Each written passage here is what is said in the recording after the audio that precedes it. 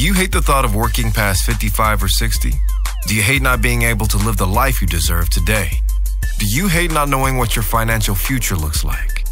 It's time to stop doing what you hate. Here's your host, Mr. Harold Green. Hello, everybody. This is Harold Green of Brightree Financial, and it is time to stop doing what you hate. How's everybody doing today? I'm doing okay. This show is being recorded on April the 3rd, 2020. And right now we are in the middle of the, the lockdown, the shutdown, whatever you want to call it. We're two to three weeks in, probably two weeks in at the most. And, um, you know, a lot of different things are happening. And so for me, as on a personal side, I had to bring my daughter back home from New York because it's just getting too bad up there. And um, I told her, I said, you know what, let's let's get you out of there. Let's get you back home. Let's reassess what's going on, and then uh, recoup, resettle, and then basically go from there. And so right now, you know, we're going through some trying times, and you know, we're going to get through it. I believe we're going to get through it. Everything is going to turn out to be fine as far as getting back to normal, there's probably no getting back to normal. There's probably just some moving on and then dealing with the fallout and the damage that um, that this has done to our lives. But uh, in order to get through it, we're going to have to stay positive. We're going to have to keep our heads up, and we're just going to have to keep moving, keep moving, no matter what. Just keep moving, and uh, don't let this overcome you, but you overcome it instead. Well, today's show, career plus major equals college, how to pick some of the best colleges out there. And as you guys know, if you've been listening to me for any period of time, you know that I'm big on getting kids through college with the most amount of money, getting them out of school in four years and on into life, becoming very productive citizens. That is what we do. That's what we love to do. As a fiduciary advisor and a, and a planner, some years ago, like I said before, I saw so many people struggling, struggling, struggling, trying to get their kids through college, also trying to save for retirement, and also trying to have a decent lifestyle. We had to come up with it, figured out how to make it work for the families here in Hawaii. And um, we've been doing this now for about, I think, 12, 13 years, something like that. And so I do public events from time to time for the families here in the islands. And I want to talk to you about the Career Plus Major Equals College and you know where it all starts? It starts with positioning your family to get the most money from the colleges. In other words, there's a lot that's going to go into this type of situation. Okay. So there's three kinds of families that we typically work with. We work with the families who make a lot of money. We work with the families who don't make a lot of money. And we also work with the families that are in the middle class. And so in terms of award letters and who's getting the most money, who's getting accepted, and so on and so forth. You got to understand that colleges are taking kids from each the different levels of families families that make too much families that don't make enough and then families that are quote unquote in the so-called middle class all right so one of the biggest things and i'm going to start here okay with the kids is this right now a lot of people are afraid and right now, we are in the middle of what I call award season. So, award season is when people have uh, completed their financial aid forms and they applied for colleges, and that stuff is it's those letters are coming back in, and now we have to review those award letters side by side and figure out which school is going to give your student the the most amount of money. Okay, and also which one is the right fit. But before we get into that, what I normally see is I see people, I see kids they're afraid. Right now, they're really afraid. Can mom and dad afford to send me to school? You know, when your when your kid is sitting there looking at you, and you guys are all like, right now, you know, we're quarantined at home, so to, so to speak. We're you know, we have to kind of stay in place for for most of us, and we see each other every single day. And, and the kids see you out of work. They hear the conversations with the the workplace and and how it's going, and so it's making it really hard for them to make a decision. And so in the past, even when this wasn't happening, I was seeing kids choosing schools based on price rather than choosing schools based on value. And that's a very, very, very scary thing because a lot of the times you'll see a school that's cheap, but it'll also have a very low graduation rate. And sometimes you can end up paying an extra 10, 20, $30,000 a year for that school when it's just not that necessary to do so. Okay. So another thing as I see is I see even if the mom and dad can afford to send the kid to a school, there's over 6,700 colleges out there to choose from. How do you know which one is right for you? Now, here's something I'm gonna I'm gonna tell you guys in regards to how many schools you should apply for. Number one, when you apply to colleges, you know, only apply to the schools that you are serious about, schools that have your major, also schools where if you decide to change your mind, they have other programs there that are of good quality. And here's the thing some schools have great majors or great programs for certain majors, but then outside of that, there's really not a whole lot there. So try to make sure you're not getting yourself pigeonholed into a college that only has about one or two good majors. Then, if you change your mind, there's nothing else there, and then you have to transfer. The problem with transferring is kids are getting the most free money in the very first year, not the second, not the third, not the fourth, not the fifth, not the sixth, and so on and so on. They're getting the most money in the very first year. And so you're going to have to get this right from the start. So only choose schools that you you know you want to go to and that they have great programs. Uh, choose schools that you know you want to go to that you have a good chance of getting in. Okay.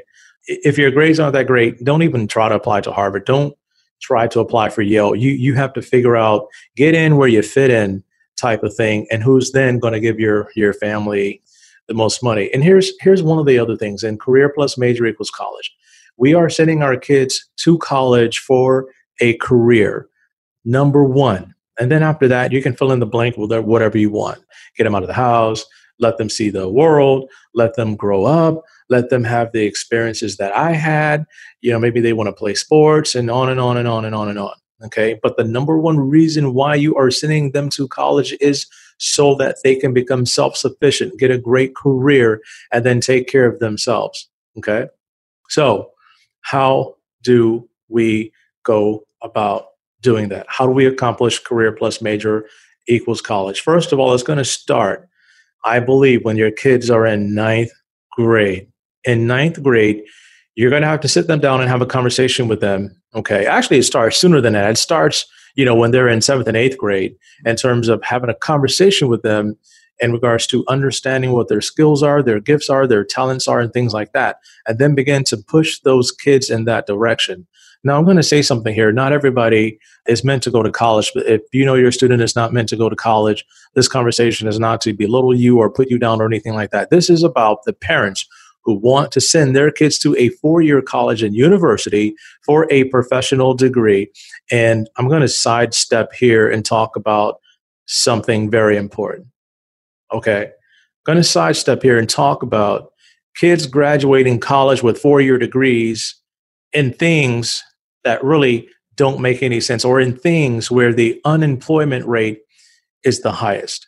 Okay. Now, I'm assuming most of my listeners are middle class people and you don't have a check to write for $40,000 a year for your kid to go to college to graduate and then figure out what they want to do with the rest of their life.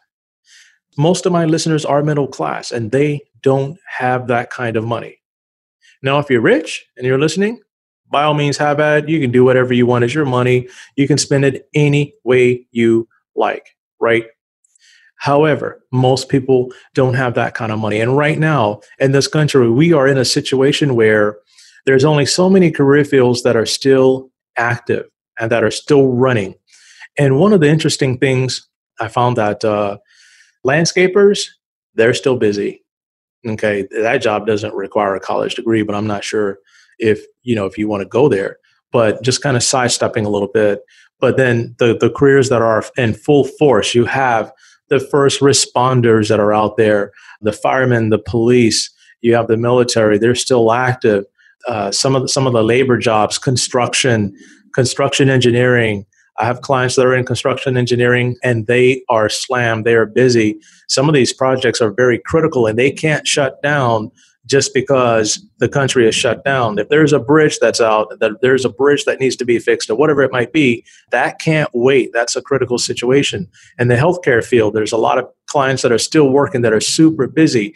So when you when you look at choosing a career, you have to look at careers that also kind of uh, insulate you from these types of situations, right? We can't predict these things, but if they do come up, you are insulated. Finance is still moving I'm working like crazy right now. I'm busy.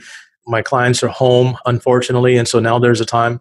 There's a lot of time for us to catch up and go over things and uh, uh, to make sure their plan is is moving. But right now, there's a lot of careers that are that are not at a standstill. The food business, in regards to grocery stores, supply chain management, that's a huge one right now. Things still have to move. Logistics.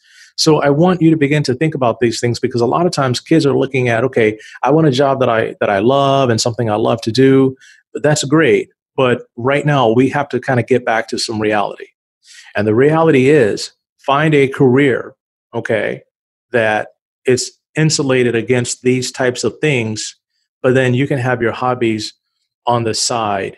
And that's why I built the Rapid Retire program. If you're doing something that you don't like to do, we can figure out how to get you out of that, make enough money in that career, get you out of that into something else that you love because now we have a nest egg big enough that will allow you to transition into something that you really love to do. But back to the kids in middle school. So I had a conversation with my kids when they were in middle school that, look, for me, guys, it's mandatory that you have an idea of what you want to study in college, what you want to major in in college, because when you get to high school, that's going to determine the courses you take and so on and so forth. And the challenge I see is a lot of parents don't force something like this on their kids out of fear that it's too much pressure. I'm going to tell you guys something about kids. Kids are phenomenal. I love kids. I love working with kids. I love talking to kids. I mean, because they come at it with a very different perspective once you you know you uh, you shave off all of that edginess that that they that they have going on and the you know the maturation stuff that they're going through. Once you shave that off and brush that all aside i mean and you get them down to their core kids are pretty amazing and they can handle some stuff. Kids put up with a lot of stuff. They deal with a lot of stuff. Bullying and so on and so forth. So sometimes people you know we got to stop selling our kids short okay and and basically just come at it with a hint of realism and i guarantee you they're going to appreciate that later but it's all about how you come at it. So basically, I told my kids, all right, by the end of eighth grade, you got to have an idea of what you want to study, and then we're going to work with you to help you accomplish that. Now, if you change your mind, that's fine, but we're going to have to make sure we're on the right path. Okay, so my son, engineering, my daughter at the time, she wanted to be a vet. That kind of fell through when she realized that the volunteering programs for veterinarians it's really tough, very competitive. So many people want to be a vet, and so those types of programs are full of other kids who want to do the same thing, and it's hard to to to find that in order to make sure it's what you want to do. So my son, he went all the way through, went to MIT, graduated with his degree in nu- nuclear engineering. But when he was at MIT, he changed his mind from electrical engineering to nuclear engineering, and and I was okay with that because it was a lateral move type of deal or an upgrade. I told them if you change a major, there is no downgrading. Because if you downgrade your major to something else, you're coming out of that college and you are going somewhere else way cheaper than that that has a program for you for that particular major if you're going to downgrade. And the problem with downgrading is this if you're downgrading to a career, a major with a potential career that, you know, it's just kind of suspect, I'm going to caution you on that. For example, if you're in engineering you realize, hey, engineering is too hard. The question is, is it really too hard or is it you're just not giving it everything you got? that's a whole different ballgame. Okay. If you're giving it everything you got and then you realize that, hey, this is not for me, that's okay. But then we're going to have to find another area for you that you can give it all you got that's going to produce some phenomenal results. So just giving up and quitting, that's not a good thing. Okay. I have a bookmarker on my wall that I posted from a seminar that I went to over 20 something years ago when I was on the, the verge of being homeless and not having anywhere to go, a friend of mine paid for me to go to a seminar with this guy. He used to be the chaplain for the Chicago Bears. His name was William V. Crouch, William Van Crouch. And he said something in that seminar that really lit a match under my butt. And it goes something like this You're not finished when you're defeated, you're finished when you quit. I'm going to say that again. You're not finished when you're defeated. You're finished when you quit. Changing gears is one thing. Okay. Maybe you got to slow down. Maybe you got to take a break, but quitting altogether, I don't want you to subscribe to that kind of thought process. Again, career plus major equals college. So again, with my kids, we went through this whole program with them. My daughter ended up changing her mind and uh, looking at architecture, and so that's her field of study right now. And and architecture, and I've shared with her, has a very high unemployment rate. And so, if you're going to be an architect, man, you're going to have to give it everything you got every single day. You're going to have to bring it, and you're going to have to bring it hard, because architecture is a very hard field. Okay. So let's go back to some of the other things about how choosing the schools that give you the most amount of money. Okay. So you go back to your SAT scores, you go back to your building of your resumes, and you go back to your GPA and so on and so forth. Okay. And this is a no brainer. In order to get the most money, you're going to have to have the best grades. Okay. I'm going to say that again. In order to get the most money, you're going to have to have the best grades and scores. Okay. So I'm going to go through an award letter that just came across my desk today. And these schools range from about $60,000 on up to about 65,000 or so. Okay. And basically you have a family's EFC of about $20,000 or so. And so they're going to need about $40,000 or so from these particular schools. Okay. And one of the things that's interesting to me is that some of the lesser schools in this time are giving away more money by percentage than some of the better schools. Why?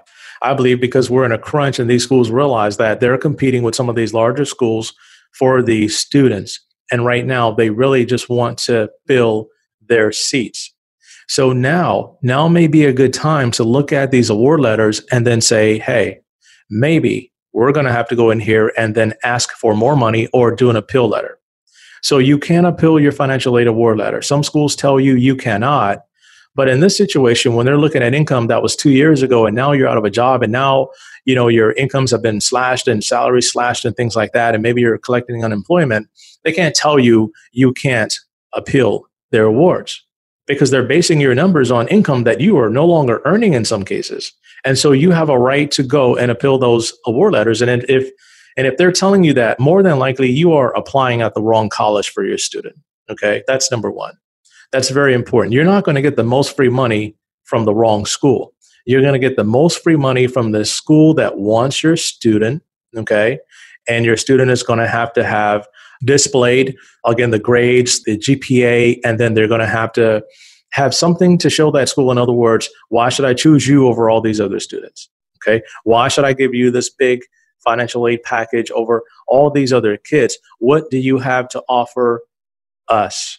And if you can prove to that school why you're going to be a really good fit, more times than not, you'll see the money in your award letter because you filled out your application correctly and you put something in there that makes you stand out to them. All right. So, in wrapping up in the career plus major equals college, you have to have the best grades in order to get the most money.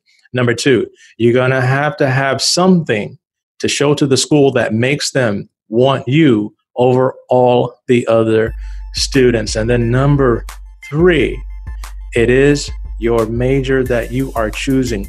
You're going to have to be looking at schools that have the best programs for your particular major, and they have to be a right fit for you. So if you're listening right now and you got those award letters in your hand and you're not sure what to do with your award letters, I want you to go to my website, retirenowretirewow.com.